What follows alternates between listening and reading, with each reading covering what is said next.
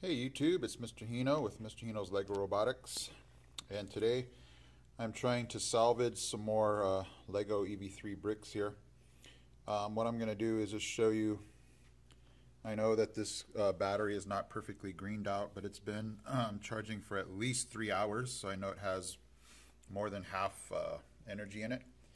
I'm just going to show you again how you can take a brick that just doesn't turn on um, and hopefully revive it. Um, you know, you can look on Amazon these or eBay. These bricks are like $150, and if they don't turn on, you don't want to, you know, have to replace these. So uh, I'm going to go ahead and pop this battery out, put on this brick, and just show you that the brick does not turn on.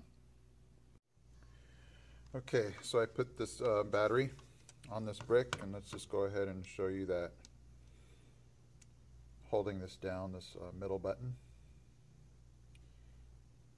it's just not turning on.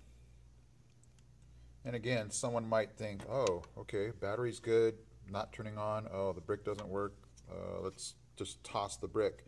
Um, no, we don't want to do that. There's a fix, and let's go to the fix. Okay, so we have this brick again. Uh, pressing the middle button doesn't turn on.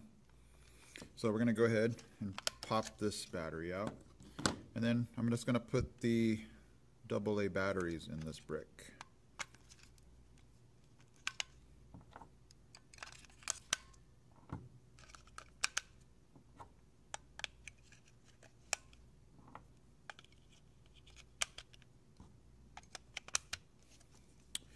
All right, so all six AA batteries are in.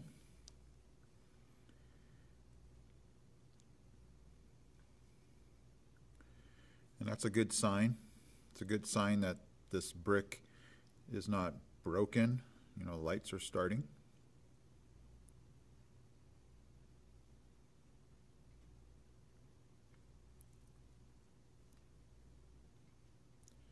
Our mission is to save every EV3 brick we can.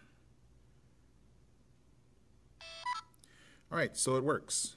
And so what we're going to do now is guess I don't have to turn this off. I'm going to turn it off. Take the AA batteries out.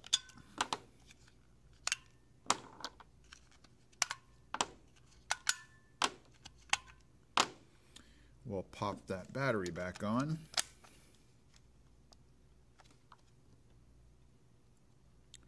And if this comes on, I have saved this brick.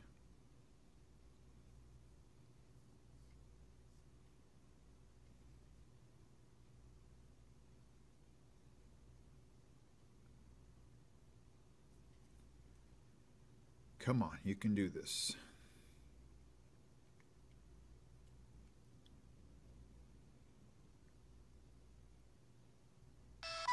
Beautiful.